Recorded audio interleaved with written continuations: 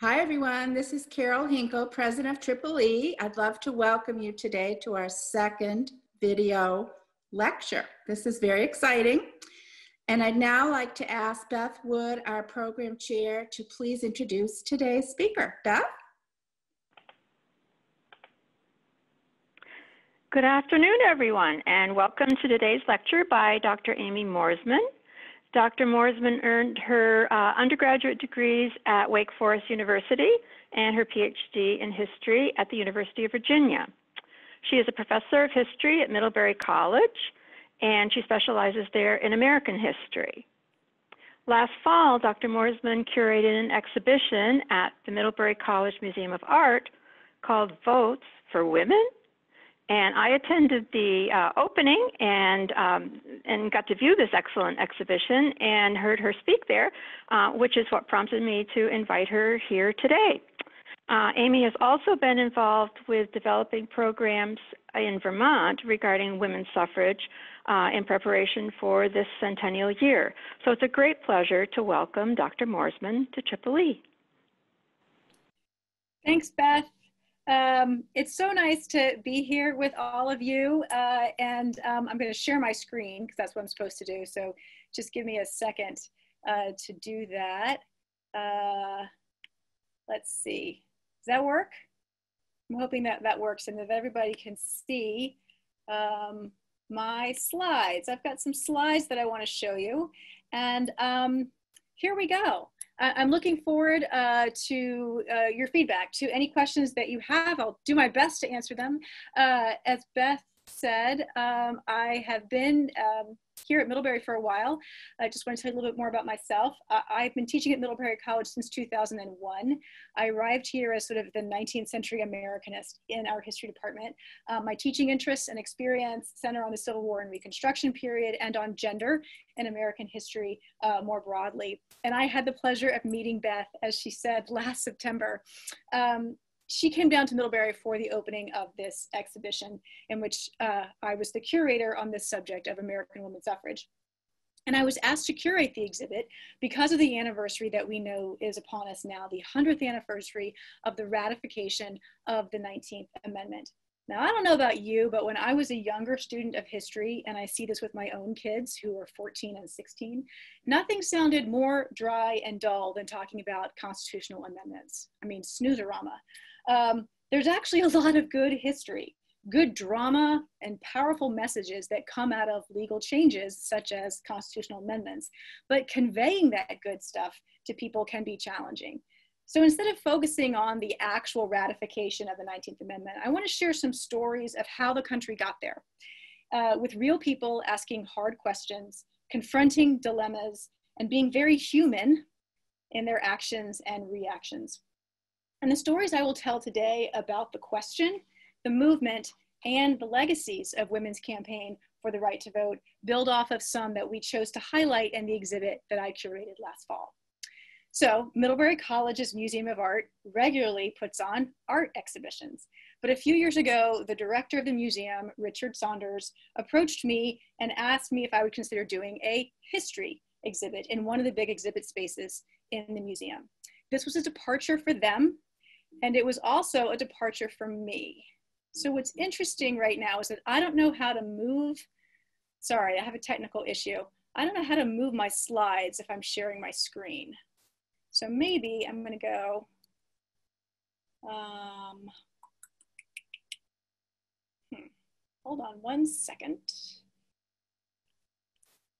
Let's see if they'll do. Oh, there we go. Awesome. Okay, now I figured it out. Sorry about that. Um, so Richard Saunders, the director of the museum, asked me to do this. It was a new thing for them to try. It was a new thing for me to try. And so we did it. Uh, he thought it would be a really good idea if uh, I could make this exhibit planning part of a class, a course project. So I was slated to teach a first year seminar, a seminar for brand new Middlebury College students in the fall of 2018. And Richard's request for the exhibit moved me to make the history of women's suffrage the focus for my seminar. The idea was that the students from fall 2018 could be involved in the project of developing an exhibit that would open in our museum in the fall of 2019 as the consent centennial commemoration of the 19th Amendment began. The 19th Amendment was approved by both houses of Congress in June of 1919, and then it took 14 months to get it ratified by three quarters of the states. So the launch of this anniversary exhibit here at Middlebury was well timed for that anniversary. With my students in the seminar, there they are in this picture. Um, the seminar was entitled The Woman Question, which is what the 19th century um, Americans in the 19th century talked, how they talked about the women's rights campaign, the woman question. With the students in my seminar, I got to read more deeply on the subject and to learn with them about museum exhibit design. My students were also incredibly helpful in identifying for me the elements of the women's suffrage story that were most interesting, perplexing, and provocative to them. They served as a focus group of sorts, highlighting the dimensions worthy of our attention in the exhibit. So when, this, when the spring of 2019 came around and my students had moved on to different classes and the work of actually curating the exhibit fell to me, I, along with a terrific team from the Middlebury Museum, kept my students' ideas, questions, their sense of outrage, their discoveries, and their sense of wonder in mind. And I'm pleased to have had all of them involved and recognized in the public facing academic product that was displayed in the museum from September through December of 2019. What we came up with um, for this museum exhibit were six thematic sections about women's suffrage. There was a section that explored the arguments for women's suffrage, the strategies different groups embraced, the tactics that suffragists chose to get their point across, the divisions within the movement, and the legacy of the suffrage amendment. The sixth section of the exhibit gave some attention to the local scene uh, on suffrage in Vermont and also in neighboring New York. The exhibit was called Votes for Women. Just a couple weeks before opening day, an email arrived from the good people in the Middlebury College Communications Office, and they were doing their part to spread the word about the exhibit and to let people know about the opening. Communications folks had a question about the exhibit title. Why are we calling this Votes for Women? Question mark, they asked. There are lots of other exhibits on this subject going on around the country, and no one else is using that title with the question mark. Um, other places are using the slogan from the suffrage movement, votes for women. The lovely guy who sent this email essentially was saying, look, this title sounds weak and weird with the question mark, and the visitors aren't gonna get it. They're not gonna understand why you have it. And he thought it would be confusing for folks coming to an exhibit that celebrates the ratification of an important uh, you know, national amendment. And he asked if there was any way that we might change the title for this exhibit before the, the publicity was done and before the museum doors opened. Well, after taking a deep breath, I vociferously defended my choice of title. The question mark in the title matters because the question mattered. Number one, this marking of the woman suffrage amendment is not entirely a celebration in my mind. It's an opportunity to honor a struggle for expanding our democracy while also acknowledging the messy, complicated, controversial, incomplete, and divisive parts of this story, all of which are suggested by the question rather than the declaration. And number two, the history of women's suffrage, even in its most conservative framing of time, lasted more than 70 years. It took that long and actually longer for several segments of the female population because it was not a foregone conclusion. Americans of all walks of life, female as well as male, really struggled with the idea of women being a place, being in a place where they would want the vote, where they would use the vote, and where they would be worthy of or equipped for the vote. So I really wanted the people coming to the exhibit in Middlebury, and even those like you who are just hearing about it after the fact, to embrace that title and its meaning. Votes for women? Seriously? Really? Why? At what point? On what level? For which purpose? Which ones? Which women? All women? Really? Seriously? That's a thread and a significant starting point in the story of more than 70 years of discussion and activism on this question. Now, in the weeks that followed the exhibit opening last September, I had people tell me that they had never been aware of the opposition to women's suffrage, that Americans, especially American women, would go out of their way to argue against something as fundamental to a democracy as voting. And they found that section of the exhibit the most interesting. So in hearing that from museum visitors, I felt vindicated with my choice of title. And I also had those comments in mind when I crafted this lecture for you today. Because in exploring what's wrong with the idea or what's questionable about the idea of women voting, we get, number one, a glimpse of what Americans thought of their democracy and the place of women in this society. And number two, we see how suffragists respond, responded to those ideas. What emerges are some interesting points of contention, not only between suffragists and their opponents, but also within the movement, among people you might think were all in agreement and working together. And from these points of contention developed some moments of reckoning in the movement. I'll highlight just a few of them for you here today. So first, a question. Votes for women. Why should women vote? There are two, maybe three primary arguments that serve as answers to that question. And you see one here at the top. Women deserve the vote just as men do, for as citizens of this republic, they have the natural rights that other citizens enjoy and that all citizens should practice as a democratic responsibility. We can call this the equality argument that Elizabeth Cady Stanton and Lucretia Mott um, um articulated for as early as 1848. And then there are arguments that embrace women's difference from men. And for the 19th century, in a society where a gendered division of labor largely held sway, acknowledging the differences between men and women was important and practical. There's no denying that women are different from men. They have different strengths and sensibilities. So, the suffrage argument goes how could men possibly speak for women who are different from them?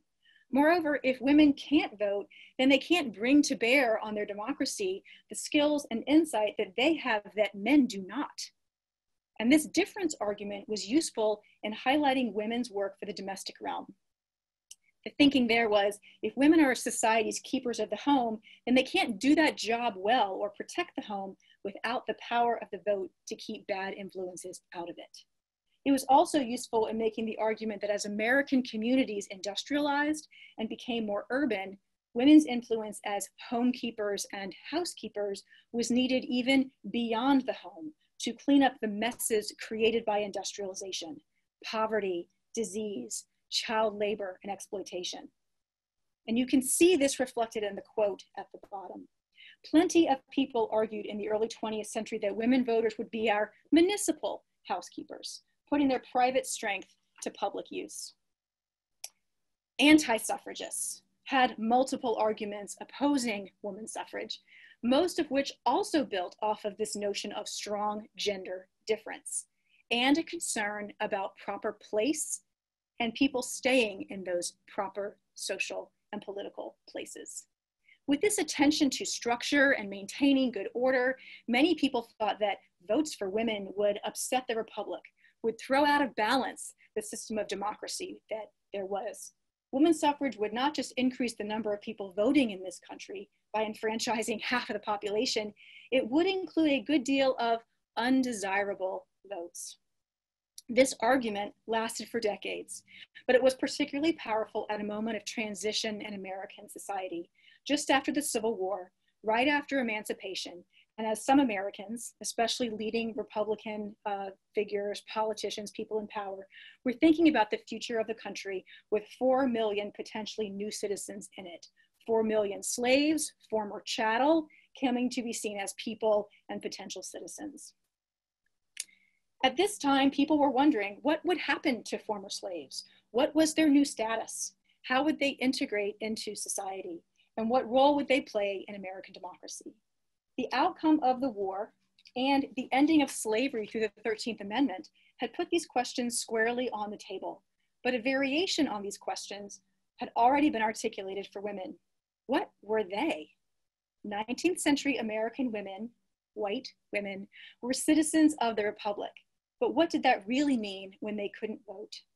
Now, suffragists, a small group at this time, had been arguing for women's full citizenship and for access to the vote for decades. The founders of the 19th century women's rights movement had grounded their arguments for the vote on the basis of natural rights, that all people had basic rights and should be able to exercise them.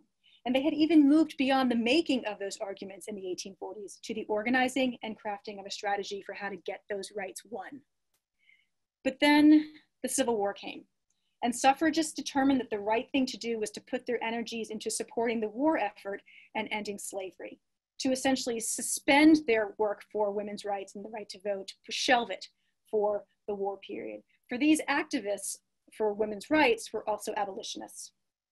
After founding the Women's National Loyal League, an organization in the North to support the war and to fundraise for it, suffragists gathered thousands of petitions and presented to the government a strong showing of American support for emancipation. They helped the country embrace the idea of emancipating 4 million slaves, and they helped bring about the 13th Amendment. Then they rejoiced at the prospect of a victorious union that would expand the rights to former slaves and expand the rights to women who had worked hard for the Union and who deserved the right to vote as well. When the questions surfaced about creating a political status for the freed people, women's rights activists saw this as a natural extension of the argument they had been making. And they assumed that an expansion of political rights for freed slaves would also mean an expansion of political rights for them. They were wrong.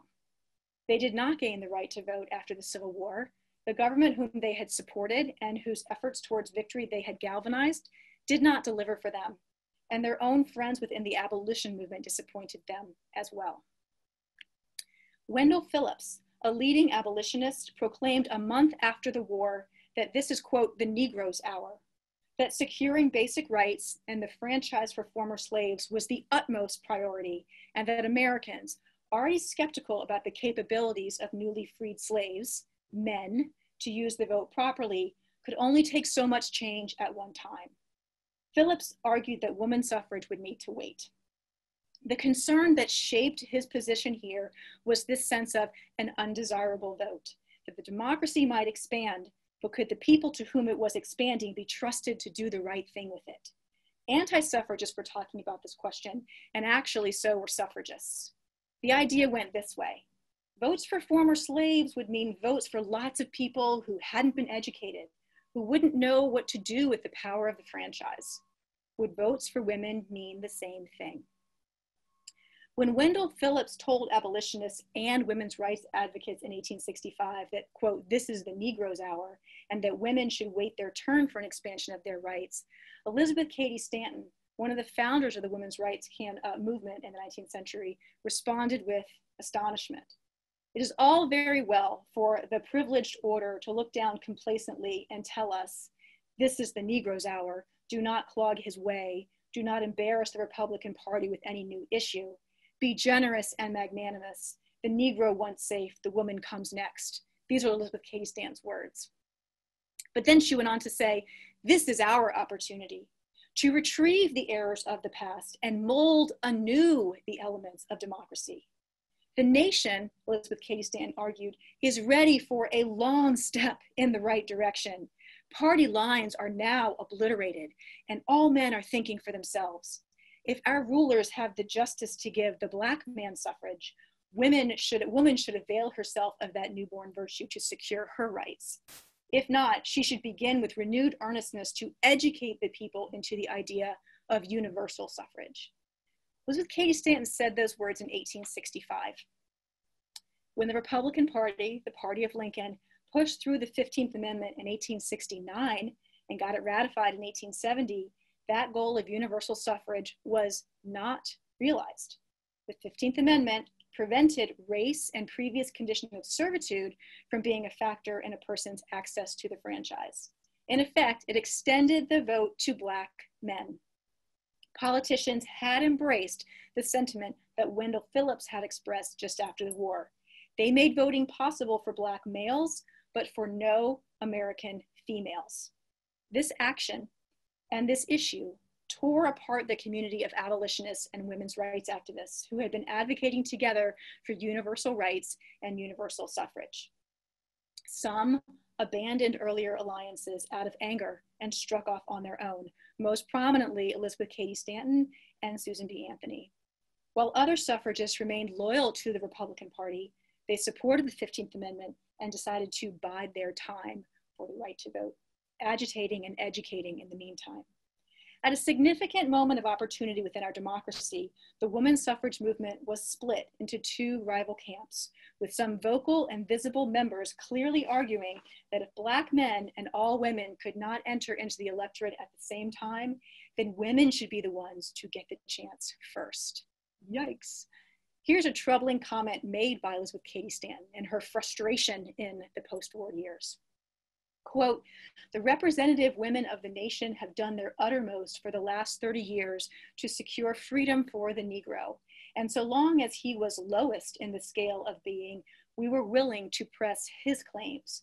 But now, as the celestial gate to civil rights is slowly moving on its hinges, it becomes a serious question whether we had better stand aside and see Sambo walk into the kingdom first. Ouch. Susan B. Anthony, Stanton's suffrage movement partner, put it another way. The 15th Amendment creates an antagonism everywhere between educated, refined women and the lower orders of men, especially in the South. If you will not give the whole loaf of justice to the entire people, if you are determined to give it to us piece by piece, then give it first to women, to the most intelligent and capable portion of the women at least, because in the present state of government, it is intelligence, it is morality which is needed. Other voices on this question. Having escaped slavery and become a central figure in the Northern campaign for abolition, Frederick Douglass had something to say on this question of who deserved suffrage and when. Quote, I do not see how anyone can pretend that there's the same urgency in giving the ballot to woman as to the Negro. Speaking for African Americans in the late 1860s, he said, With us, the matter is a question of life and death, at least in 15 states of the Union. When women, because they are women, are hunted down through the cities of New York and New Orleans, when they are dragged from their houses and hung upon lampposts, when their children are torn from their arms and their brains are dashed out upon the pavement, when they are objects of insult and outrage at every turn, when they are in danger of having their homes burnt down over their heads, when their children are not allowed to enter schools, then they will have an urgency to obtain the ballot equal to our own. Quite a response from Frederick Douglass. Scholars who have studied the positions taken by suffrage leaders, especially Stanton and Anthony, in the years right after the Civil War and after slave emancipation, found that racism, frustration, and financial desperation got the best of these suffrage leaders. But if we look beyond the years, if we look in, into the early 20th century, the picture doesn't get much better within the suffrage movement. The Reconstruction years did not resolve this problem or this disagreement about race and the undesirable vote as understood by white Americans. This was in part because racism shaped so many of the priorities, decisions, and actions of white Americans in this period and beyond and they affected suffragists too. Now, Frederick Douglass was a well established proponent of woman suffrage. He had been there at the first Women's Rights Convention in 1848, traveling down from to Seneca Falls from Rochester, New York, and not only attending, but speaking up in support of the argument for women to vote when the vast majority of people who were in Seneca Falls uh, thought that a suffrage demand was too much, too radical, and too far to go.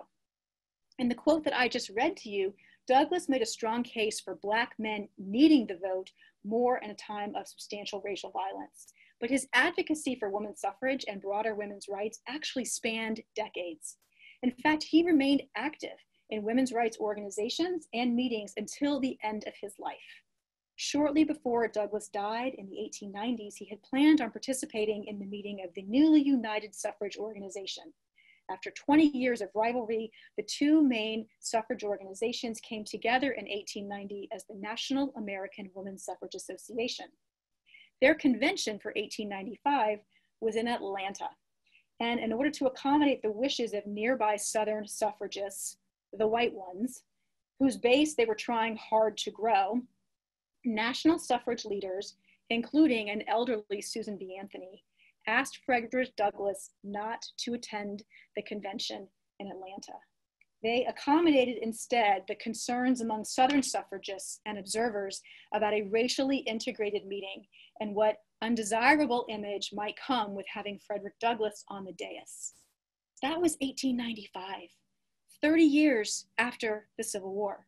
It was 30 years after the pronouncement of the Negro's Hour, and it was not one isolated incident. Those connections between race and democracy continued within the suffrage movement, keeping it from being fully unified. Another telling example of this issue came in 1913 when suffragists made a bold public display by holding a suffrage parade in Washington, D.C. the day before President Wilson's inauguration. It was such a smart thing to do to capture the nation's attention when Americans were already looking to Washington for the introduction of a new president.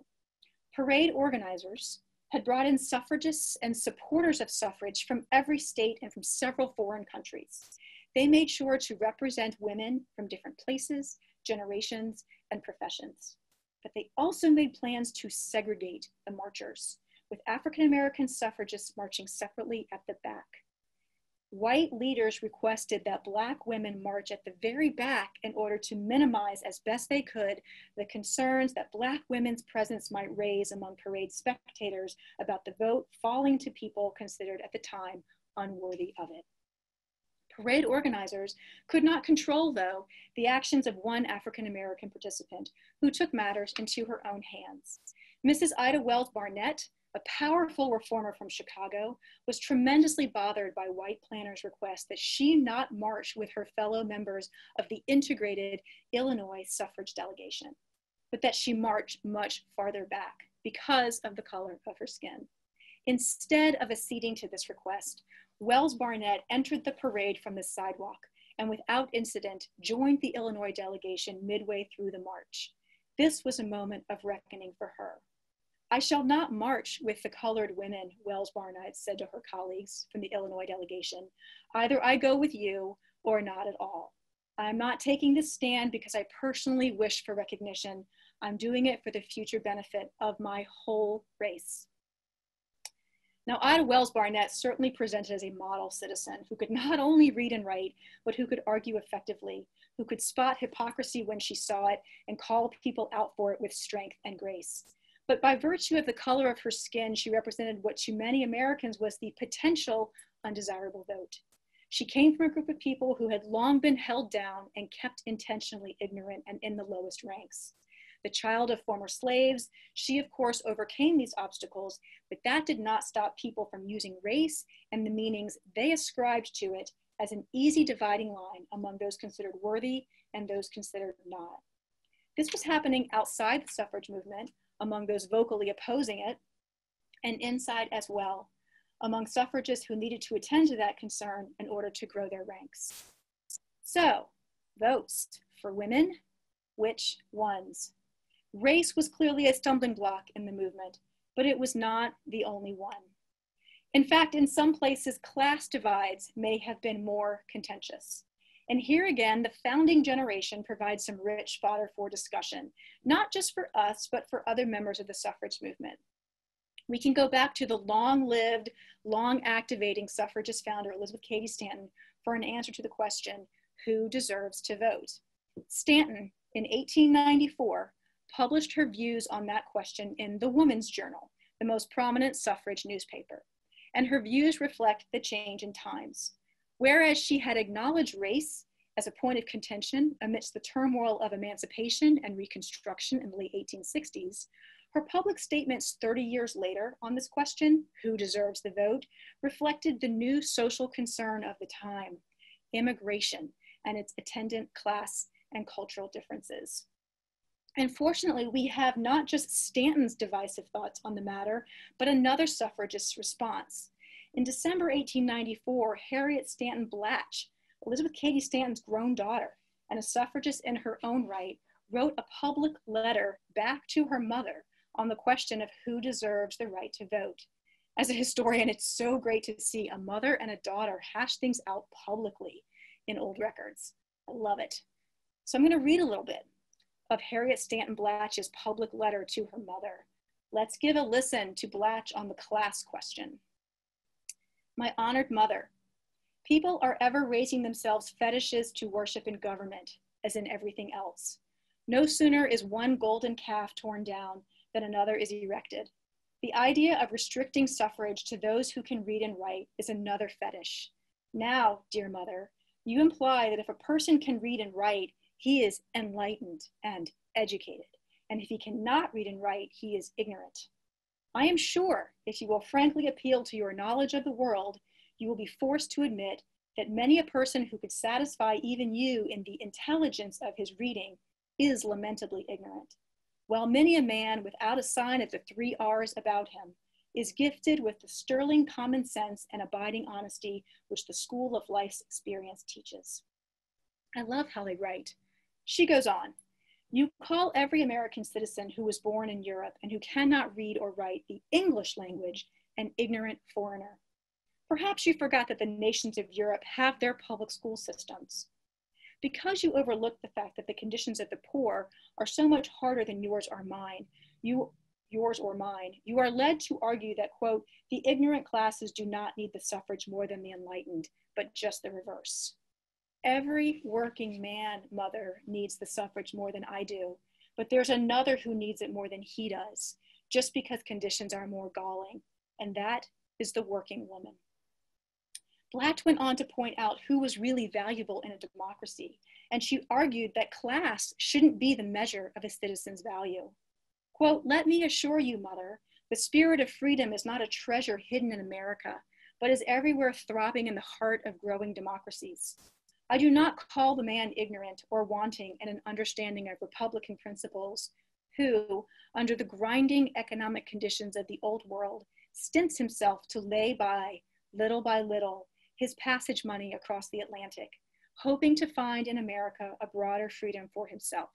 But I do call ignorant and a real danger to the state the educated man, born and bred in a republic, who devotes his highest energies to money getting and neglects his every duty as a citizen. Monarchy is the true government for the lazy. A republic calls for energy. And true it is that the actual voters will form the government.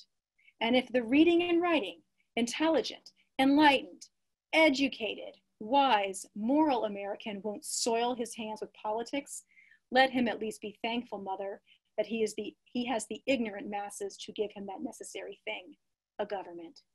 Yours ever devotedly, Harriet Stanton Blatch. I love it. As a middle-aged woman, Blatch came back, came back to the United States from a life in England, and she created a suffrage organization that she hoped could bring working class and middle class activists together. She created the Equality League of Self-Supporting Women that later became known as the Women's Political Union. But that wasn't good enough for some working class women who felt too invisible and too controlled by even this well-intentioned bourgeois woman. They objected to Blatch's dominance and her middle class counterparts within the organization. They found her too condescending and stuck in her ways. And when they considered the question, who gets to control the movement and the activities in it, they decided that working class women needed to take the reins themselves. Rose Schneiderman and fellow immigrant Leonora O'Reilly left Harriet Stanton Blatch's cross-class suffrage organization and formed the Wage Earners Suffrage League in New York City, where they combined issues germane to women's rights with those essential to labor activism. Their priorities were shaped by real life conditions in the places where they lived and worked. And a powerful example of this was the horrific Triangle Shirtwaist Fire of 1911, when garment workers were trapped in a workplace fire and 146 of them, mostly women, mostly young immigrants, perished. For working class suffragists, many of them also dealing with the challenges of being immigrants in America, the ballot was a matter of necessity. They saw that political suffrage, they saw that the, the, the way that Harriet Stanton Blatch and her mother thought about political suffrage wasn't enough, and they called for an industrial democracy. And though middle class and elite women certainly were helpful in making suffrage gains a reality across the country, working class women brought an even greater sense of agitation when it mattered most. You can see here, this is a flyer um, that was passed out in New York, in New York City, you know, neighborhoods, trying to get people to come into, into these organizations and, and, and, and get them um, aware of the suffrage question. So they were really important at the right time. They really brought a greater sense of agitation when it mattered most. A case in point, New York which was an incredibly important state in the history of women's suffrage. In 1915, New Yorkers rejected a statewide call for women to gain the full franchise on the state level. Two years later, New Yorkers changed their mind and granted full suffrage to women in their state. The biggest difference in the level of support between 1915 and 1917 came from voters in New York City, and it is likely that working class voters, influenced by working class suffragists, made the difference in that change of vote to 1917. As I said, our Western neighbor, New York, was an incredibly important state in the women's suffrage story. It was the first state east of the Mississippi to embrace full suffrage for women. Up to that point, suffragists had pursued a state by state approach to winning the full franchise, which was a very slow process. States in the West embraced women's suffrage first, with the more established Eastern states serving as the bulwark against this expansion of democracy. There were, however, suffragists who found the state by state approach maddeningly slow and inefficient. There was, by the 19 teens, a contingent of suffragists who embraced as their sole focus the campaign for a federal amendment to the Constitution to make up for the one lost in the Reconstruction era. But they faced an uphill battle not only because getting a federal amendment to the Constitution is a big, laborious process, but because there were plenty of other suffragists who did not want energy diverted away from the only thing that had had any success the state by state plotting approach. So that's why breaking the anti suffrage logjam in the East, in New York in 1917, was a very, very big deal.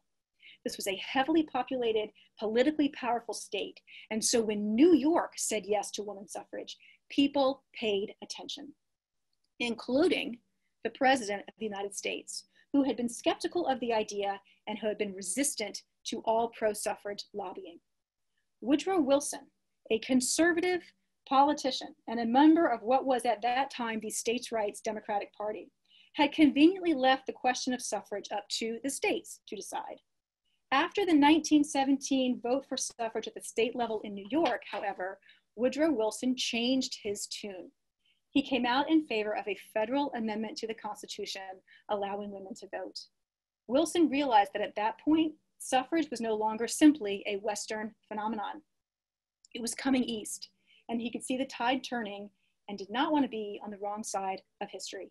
In 1918, Woodrow Wilson went to Congress to make his case for why the country should support women's suffrage, and his argument to stubborn senators brings us to another interesting point of contention within the suffrage movement. How to describe women's role and value in society. How do they fit in this democracy? Here are Wilson's words in 1918, in the midst of World War I. Here are Wilson's words on that subject. So he's addressing gentlemen of the Senate. The unusual circumstances of a world war in which we stand and are judged not only by our own people and our own consciences, but also by all nations and peoples, will, I hope, justify in your thought the message I have come to bring to you. The extension of the suffrage to women is vitally essential to the successful prosecution of the great war of humanity in which we are engaged. It is my duty to win the war and to ask you to remove every obstacle that stands in the way of winning it. This is a people's war, Wilson went on to say, and the people's thinking constitutes its atmosphere and morale. If we wish to lead the world to democracy, we can ask other peoples to accept in proof of our sincerity and our ability to lead them nothing less persuasive and convincing than our actions. Through many channels, I have been made aware what the plain, struggling, workaday folk are thinking, upon whom the chief terror and suffering of this tragic war falls. They are looking to the great, powerful, famous democracy of the West to lead them to the new day. And they think, in their logical simplicity, that democracy means that women shall play their part in affairs alongside men and upon an equal footing with them. If we reject measures like this in ignorance or defiance of what a new age has brought forth, of what they have seen but we have not, they will cease to believe in us. They will cease to follow or to trust us. Wilson said, We have made partners of the women in this war. But then he asked, Shall we admit them only to a partnership of suffering and sacrifice and toil, and not to a partnership of privilege and right? We shall not only be distrusted, but shall deserve to be distrusted if we do not enfranchise them with the fullest possible enfranchisement, as it is now certain that the other great free nations will enfranchise them. We cannot isolate our thought or our action in such a matter from that of the rest of the world. We must either confirm or deliberately reject what they propose and resign the leadership of liberal minds to others.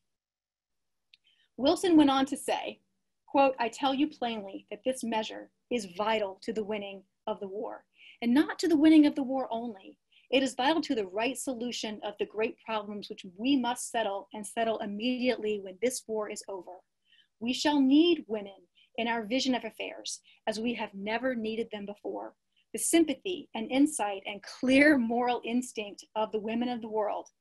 I, for one, believe that our safety in those questioning days, as well as our comprehension of matters that touch society to the quick, will depend upon the direct and authoritative participation of women in our councils. Without their counselings, we shall be only half wise.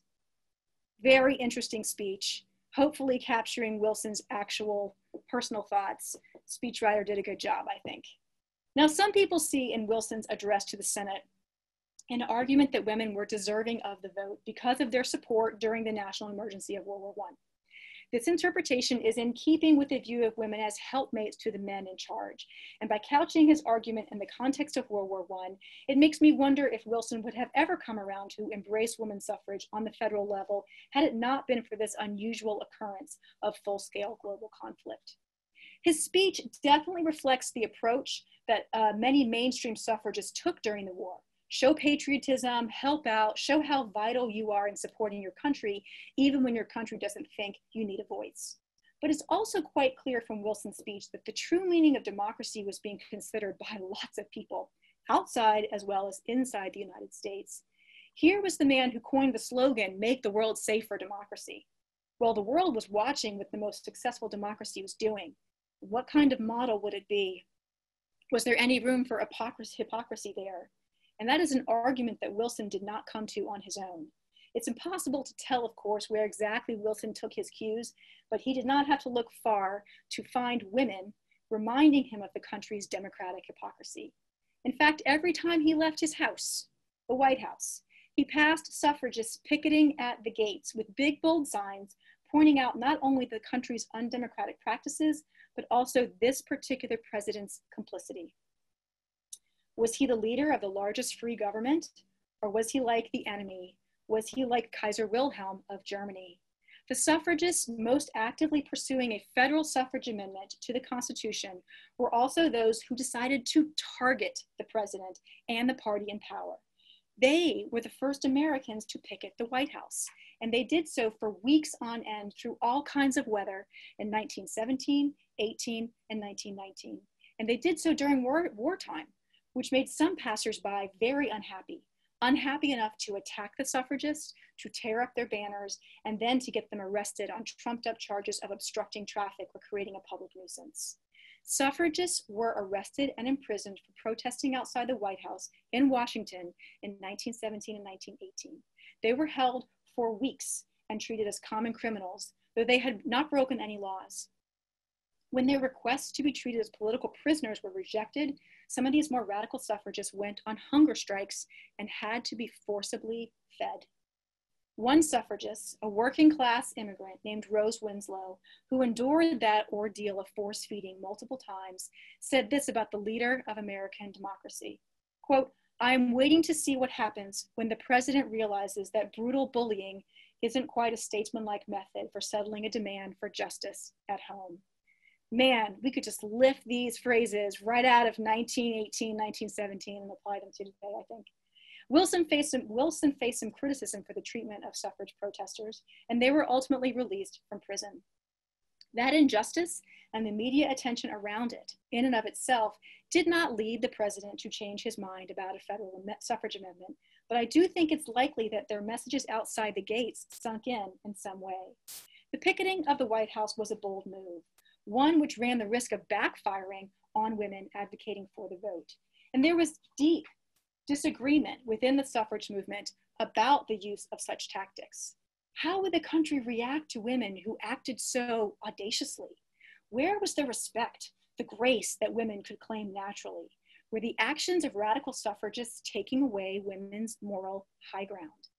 Would they suggest by their actions that the vote and even the agitation for the vote would unsex women?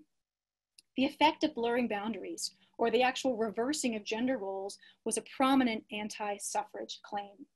No suffragists believed that to be the case, but they had to be careful as to how they presented themselves. Tactics were open to debate and criticism, which contributed to divisions and contentiousness. How might men in power or other women react when suffragists were this in your face? Was that womanly? What might that portend for women in public roles in the future? Congress passed the 19th Amendment in 1919, and 36 state legislatures voted to ratify the amendment, making it part of the Constitution by the end of August 1920. Women were successful in their movement for the vote, though not all women got it right away. Women of color, including Native Americans, African Americans, Latinas, and Asian Americans, were largely overlooked and pushed away from the polls for decades to come until the Voting Rights Act of 1965 rectified that. And it would take years for Americans to come around to seeing women as full citizens with an equal voice and active in all areas of the, of the public sphere. Part of the reason why that took so long is that women themselves were not united. Perhaps that's too unrealistic to expect, but divisions remained. What would woman suffrage do to the country? What would woman suffrage do to women? These were questions that animated the movement before the 19th Amendment as well as after it. And I think that while suffrage or the right to vote is no longer an issue for most people, you could substitute any other word or phrase in there and have this question be totally relevant for today. And I'm going to leave it here and I'm going to pause here for questions. These are wonderful anti-suffrage postcards um, that we have here at Middlebury um, and that you can see in lots of other places too, including the Vermont, um, the Vermont uh, Historical Society, uh, that speak to some of the questions that people were struggling with at the time about gender conventions, gender difference, and what would happen if women got the vote and beyond. And I'll leave it there. I welcome your questions. Okay, so there we go. Yeah, so we have first a comment and then a question. So the comment is, I love the enthusiasm for the human stories of the suffrage movement. Thank you for making this subject. And then there is a question, what were some of the reasons why Western states, such as Wyoming, Montana, and Idaho, were among the first in the nation to approve women's right to vote and to elect women to Congress? Great question. Um, yeah, so uh, Western states and territories, um, there were a variety of reasons, but the main ones were that um, the leaders there were wanting settlement. They were wanting to entice people to move to these sparsely populated areas. They wanted to, um, they wanted to, to develop. They wanted to develop uh, economically, they wanted to develop politically, they wanted to form state governments, territorial governments, state governments, and they, they needed families, they needed women. And they thought that, um, that one of the reasons that, one of the ways to make um, settlement in these Western new lands enticing for white women uh, was to say, hey, you come out here and we'll give you the vote. Um, Utah is also an interesting example. Um, the Mormon church was very much behind um, the extension of the right to vote to women early on because they wanted even more votes. They wanted to double the power of the Mormon church's votes or the Mormon community's votes at a time when the Mormon church was sort of under siege from the federal government. Uh, was, it felt like they were under attack, especially around the, the, the practice of polygamy. And so uh, they wanted as much political power as they could get, and they thought that they could get it through their women. So it was really sort of the unsettled um, reality of the West. Um, and also the, the roles that women played in those less established um, communities where it was all hands on deck and you know you got to do a lot of things. And women's value as workers and as supporters of community and also as bringers of order and morality to these sort of wild places uh, were really clear. And so for a lot of west even western men they realized the importance of women in a way that i think women in the east um, it, it wasn't as clear good question thanks Okay, another question. What factors made Douglass, Frederick Douglass, a proponent of suffrage? Um, he understood the importance of not only freedom but of equality, and he he was just an incredibly enlightened guy. Um, and as long as he was talking about race, he recognized that that there were other elements, other factors in society that kept people unequal. Um, and he was against the hypocrisy that others embraced of, well, you know, black men should be able to vote, but black women no, or other women no. And he, uh, as an abolitionist, worked alongside many women who were abolitionists. Women were probably not the most publicly visible abolitionists because the men took those jobs. The men took those roles in, in abolitionist societies, um, running abolitionist papers, organizations, etc. Uh, but the women were the people on the, they were the boots on the ground. And so Frederick Douglass worked alongside many women. And so he saw them in action. And he wasn't about to embrace the hypocrisy of, well, black men should get this, but women shouldn't. Okay, next question. Does the suffrage movement have lessons that could be applied to voter suppression today? Uh, yes. Every time I read these quotes um, that I found from these these um, these people in the past, I'm struck by how useful they are for today, how timely all this stuff is. Um, and and yeah, I mean, I, I think the the ability to rise above division, the ability to rise above the things that that fracture a movement and to be able to look beyond identity and be able to say what do we all care about? Um, and what's the best way to get there? And the ability to suspend ego and to um, really ask um, you know for whom am i working? And am i working just for myself? Which is what um, unfortunately what a lot of um, of the key suffrage leaders in the 19th and the 20th century suffrage organizations that were the largest and the most prominent. These were white women running these organizations. And they um, mainly thought about benefits for themselves and for other white women. And I think um, we need to learn that lesson and we need to um, open our eyes and open our hearts to everyone and thinking about how can we raise, you know, the, the water for all ships and not just for our own. Um, that's hard though to get beyond identity politics. Um, and it's, it's hard to get lots of people in the same room agreeing on something, but it needs to happen. Next question. Was the suffrage movement the first major opportunity for women to develop, organize, and exercise leadership skills outside the home? You guys, great questions. The answer is no. Um, as I had said, women were terrifically involved in abolition. Um, and, and one of the other key 19th century reform movements where women really uh, thrived, um, in fact, where they actually did lead, um, was the temperance movement. And by that, I mean the anti alcohol and the anti alcohol abuse movement. And this is where Vermont is actually a great example. Usually, we, we can see the sort of pattern in many states and even the territories of um, women uh, see a problem in their community and they organize probably through their churches or their community organizations to try to address that address that problem. Abolition was one of those. Temperance um, or intemperance was was another one. And you know they would see the abuse that happened when men drank too much um, when men drank away the paycheck for the family when men came home drunk and abused their wives or their children um, and they wanted to do something about it. And they could invoke their um, you know sort of the principles of what many for many of them was Christianity uh, and and say this is a, our moral um, our the root of our our our, our moral identity as women uh, to say we are the ones who should fight against this. And so the temperance movement um, was incredibly a successful movement for women, and they became leaders of it. And they were the ones who actually um, could could link up the sort of the power of women in the home and protecting the home from the dangers of intemperance outside the home, and then linking that with suffrage. And so you could have some very sort of tradition-minded women who were church women who were all about protecting the home begin to say, you know, we really need the vote to do this well. And so there were temperance advocates who then became suffragists because they saw the connect, they saw the need to be able to press the lever and get people to pay attention to their concerns and, and to be able to vote their candidates into office. Now in Vermont, temperance held sway. There were plenty of female Vermonters who were engaged in the temperance organizations.